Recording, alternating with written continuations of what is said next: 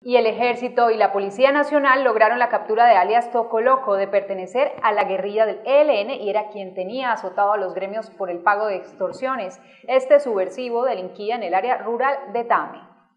Tropas de la Fuerza de Tarea Quirón y la Policía Nacional en el desarrollo de operaciones militares de acciones ofensivas que se vienen adelantando en el departamento de Arauca lograron la captura de un sujeto señalado de pertenecer a la red de apoyo al terrorismo del ELN. La eficaz operación militar se produjo en la vereda conocida como Los Aceites, zona rural del municipio de Tame, lugar donde las tropas del Batallón de Operación Terrestre número 30 realizaban permanentes patrullajes logrando la ubicación y la captura de este sujeto mientras se desplazaba por el sector. Tropas del Ejército Nacional en las últimas horas realizaron una importante captura en el municipio de Tame, en la vereda Los Aceites. Eh, en un desarrollo de una operación de acción ofensiva es capturado el sujeto conocido como alias Tocoloco, miembro activo de la red de apoyo al terrorismo del ELN, quien se dedicaba a la extorsión de comerciantes, ganaderos, transportadores de esta importante región del departamento. Con esta captura se da un duro golpe a estas estructuras que siguen eh, delinquiendo y plantando el terror en esta importante región.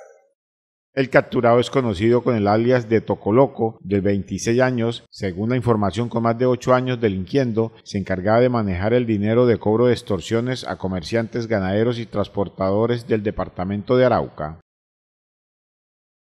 Además, Tocoloco tenía orden de captura vigente por el delito de rebelión. Es señalado de delinquir en las veredas Los Aceites, Barcelona, Carraos, Bucaré, Cravocharro, Algarrobo, Amarillo, Corocito, Centro Poblado de Betoyes y el casco urbano del municipio de Tame. El Departamento de Policía Arauca se permite informar que por intermedio de la Unidad Policial para la Edificación de la Paz, UNIPEC, la Fiscalía Nacional y el Ejército Nacional logran la captura de la persona conocida como Toto Loco en la vereda Los Aceites del municipio de Tame.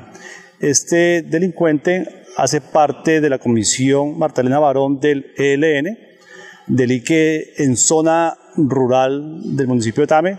Este personaje se dedicaba a cobro extorsivo a los diferentes gremios de la región. Igualmente se les indica de participar en acciones delincuenciales en contra de la fuerza pública, especialmente en contra del Ejército Nacional con artefactos explosivos. Es de anotar que esta persona tenía aproximadamente ocho años en la organización criminal y desempeñaba como mando de milicias, además contaba con un amplio manejo de la red de apoyo al terrorismo del sector e inteligencia delictiva de la guerrilla del ELN.